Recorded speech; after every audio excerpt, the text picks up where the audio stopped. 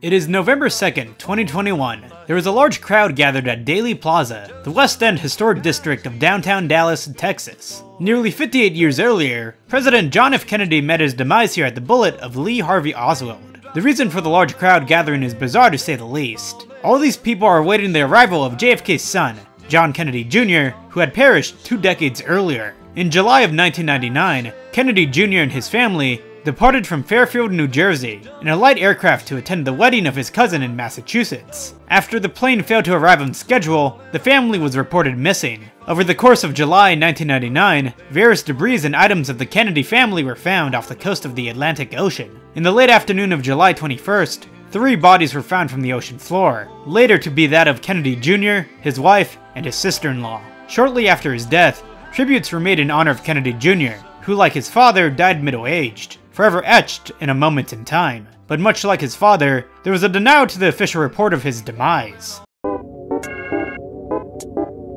In the year 2018, a post was made on the image board 4chan. The anonymous user called himself R and proclaimed that JFK Jr. was still alive. Along with the post was an image of Jr. and Trump in the 90s, many years before Trump assumed office. R claimed that JFK Jr. had faked his own death, and over the past two decades had become a high-level government official with access to classified information, ready to expose the suspected deep state that runs the shadows of the US government. Not only that, but the posts go as far to suggest that JFK Jr. is working with Donald Trump to reveal this all. In October of 2020, while Trump was on the stump for his re-election bid, it was said that Trump was going to announce Jr. as his running mate, in the very city where his father was shot, Dallas, Texas. JFK Jr. would then replace the vice president, Mike Pence. When JFK Jr. didn't show up, most of the believers of this conspiracy theory moved the goalpost and exclaimed that JFK Jr. would show up at a future event. Let me just take a minute to deconstruct this theory because it's pretty fucking stupid.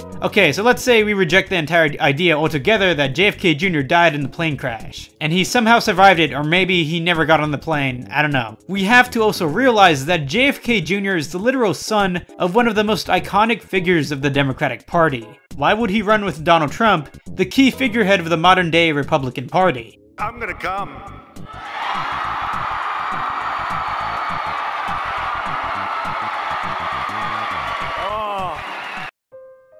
I know, it's been 60 years, and both the Democratic and Republican parties have switched various ideologies. But when it comes to Kennedy and Trump, I can barely see any similarities. Hell, JFK Jr. even gave a speech in 1988 endorsing nominee Michael Dukakis, who is known as one of the most left-leaning Democratic politicians of his period. As many of you may know, this is one but many suspicions surrounding the Kennedy family. Shortly after Jr.'s death, conspiracies abounded. There was an accusation that there was a curse to the Kennedy name. To many, how could it be possible for one family to have so many tragedies? Not only was JFK assassinated, but his brother, Robert Kennedy, was also shot on the cusp of retrieving the Democratic nomination for president in 1968. Prior to Jr.'s death, two of Robert Kennedy's 11 children died, with David Kennedy dying of a drug overdose on the way over to see his grandmother, who had just suffered a stroke. Michael Kennedy died in a skiing accident after crashing into a tree in Aspen, Colorado. JFK and RFK's brother, Joseph Kennedy, died in a piloting accident during World War II,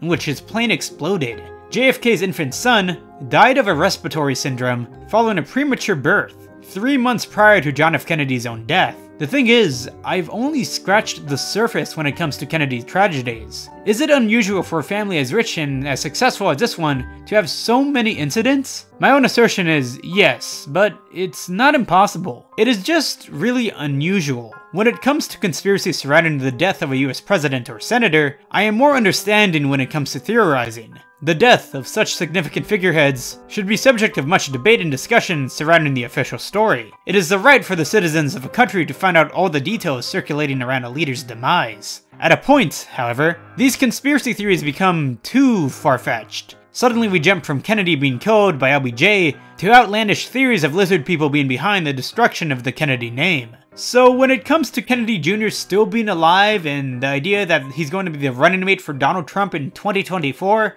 it is no wonder to me that I find the idea just really obnoxious and dumb. The following message is an account of how November 2nd was supposed to go down, brought to you by the user Negative48, an anonymous conspiracist. It began and ends in Dallas. Negative 48 said he will be in Dallas, November 2nd, for it to be all revealed to the world. He also said that as of midnight the 2nd, the world will go back to the Julian calendar. Thus, the date will go back to October 20th. Then we will have two Halloweens. JFK Sr., Jackie, and JFK Jr. will be reintroduced to the world. JFK Sr. will travel around the world for seven days. It'll be a week to remember, and then he will pass. JFK Sr. will be brought back and showed to the world on 11-2 in Dallas where he was shot at the grassy knoll at Dealey Plaza, the beginning and the end. JFK Sr. will transfer power to Donald Trump, and JFK Jr. will be Trump's vice president. It's the second coming of Christ, and it's going to be biblical. Kennedys are the Jesus bloodline. Greatest show on earth of all time. Time for us crazy people to be vindicated. God is good, love Trump, and the Kennedys. Wow, just Wow. Listen, I thought Kennedy was a good president, but I don't think he was like Christ-like Jesus. Let's go,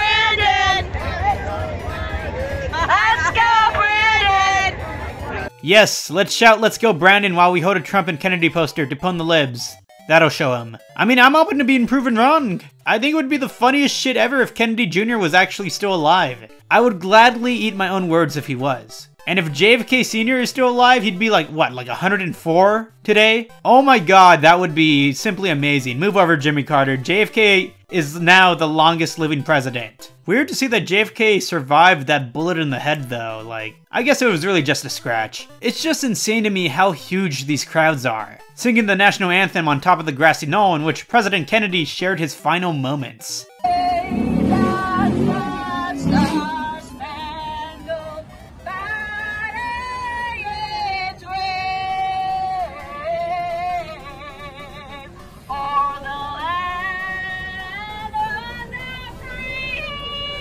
The crowds are huge. It's sad that so many people have fed into this conspiracy.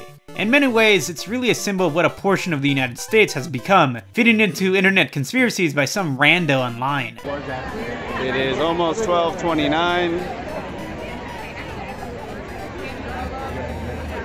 Any minute now, the big reveal.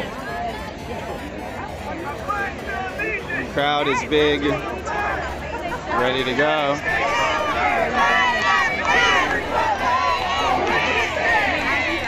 So, what happened when Kennedy Jr. didn't reveal himself? Well, the goalpost was moved once again to another date. Trump Kennedy 2021. What, what, what does that shirt mean? I think that JFK Jr. is still alive. The guy who died in the plane crash in the late 90s? You think he's still alive? I do. And he's he's going to come back and be president with Trump in this year? I hope so. But how would Trump become president this year? There would be a new election? There's a lot of things I think have happened, and there's some things I think I know, and a lot of things I don't. Okay. And one thing you you do know is John F. Kennedy Jr. is still alive? That's what I believe. Okay. Do you want to bet? Do you want to bet on it? I'll bet hundred dollars that JFK Jr. doesn't come back from the dead.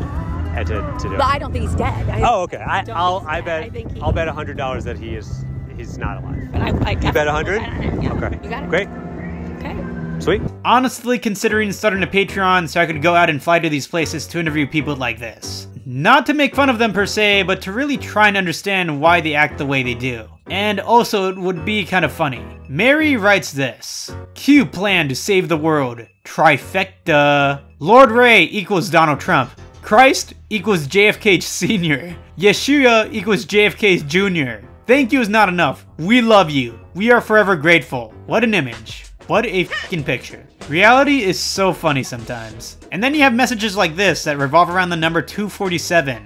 We will make America great again. Fasten your seatbelts. This is really happening. You lost Illuminati. Corrupt world leaders, nervous Nancy Pelosi, Bush and Rothschild unsealed, underground network, Three Gorges Dam collapse, what the hell does that even mean? Activate Trump and Kennedy, oh my god, here they come. The magic wand of the storm, Trump and JFK Jr. perfect storm. It would definitely be one of the best campaigns of all time, I'm not gonna lie about that. Guys, may I dare ask, how does this happen? I know there have always been conspiracy nuts, but like, I don't think it's been this prominent in a long time. And I'm talking about a long time. Is it even worth it to spend time debating these people when there's something so blatantly false and misinformed? It should be made fun of, but like why even bother trying to debunk it? I realize how many people there are who actually believe this garbage. Just think about how many people actually showed up to Dallas on November 2nd, and think about all those who were unable to make it to the event. There's has to be a lot more people. So I leave you with this, dear viewer. Should we laugh at these people or feel sorry for them and their brainwashed minds? For those who live in the United States, how do you feel about this being your possible next door neighbor? Do you feel bad? Nervous? Little bit of both? I genuinely want to know. Until next time, I'll see you all again soon.